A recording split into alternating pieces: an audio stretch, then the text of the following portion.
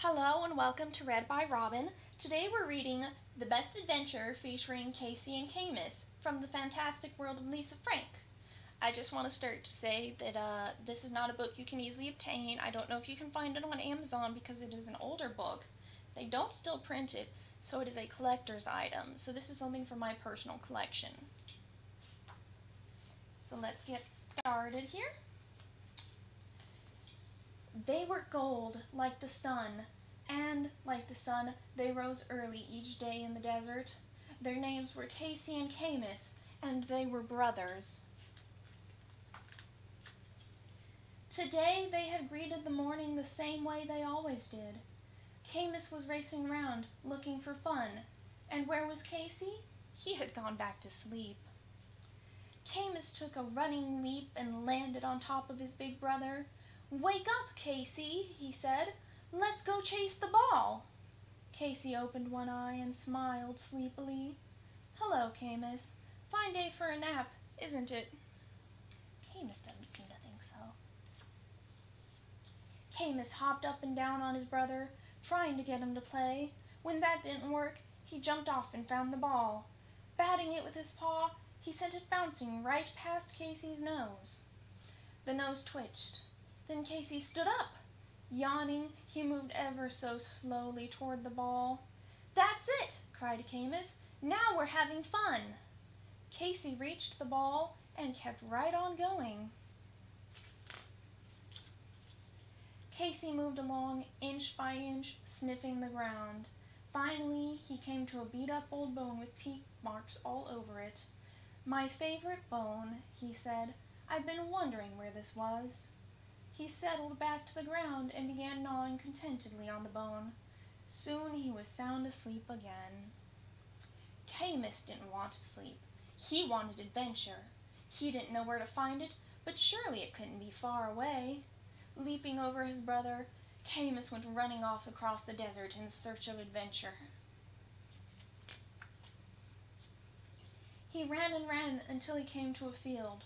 Stretched out before him were wildflowers in every color of the rainbow. Caymus went bounding through the field. It was like being on top of a grand quilt.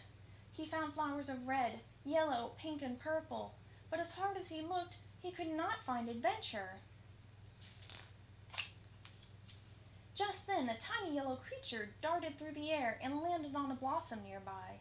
Caymus lunged for it, but the creature was off, zipping from flower to flower.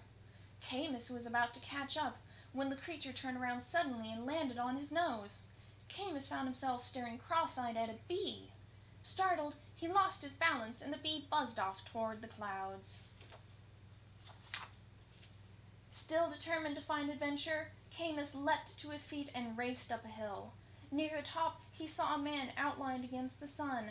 The man seemed to be waving. Caymus, who loved people, ran to the man and jumped up for a hug. But what he got wasn't a hug, it was a nose full of needles. The man was a cactus. Caymus was tired and his nose hurt. Suddenly, he didn't want to find adventure. All he wanted was to go home. When Caymus got home, Casey saw what was wrong. Gently, carefully, he pulled out the needles. When Casey finished, Caymus thanked his brother and nestled up against him. Casey said, That's what being friends is about, helping each other. And, you know, even though we're brothers, you're also my best friend. Then Casey asked Caymus where he had been, and Caymus shook his head sadly. I went looking for adventure, he said, but I didn't find it. Caymus told his brother about the wildflowers and the bee and the cactus. As Caymus spoke, a funny thing happened. His voice perked up and his tail began to wag. Listening to himself, Caymus suddenly realized he had been wrong. You know what? he told Casey. I think I had an adventure after all. In fact, I had a day full of them. Casey smiled. Those sound like good adventures, he said. But if you ask me, there's something else that's better. It's the best adventure of them all. What is it? asked Caymus. Friendship, Casey replied, and a nap every once in a while. Casey kissed his little brother, and together they watched the sun set over the desert. Caymus thought about tomorrow and wondered what new adventures it would bring in. And that's the end of the best adventure featuring Casey and Caymus. Once again, this is a Lisa Frank collector's item. It's hard to get hold of, so don't be sad if you can't find your own copy. You can always read it here again with me.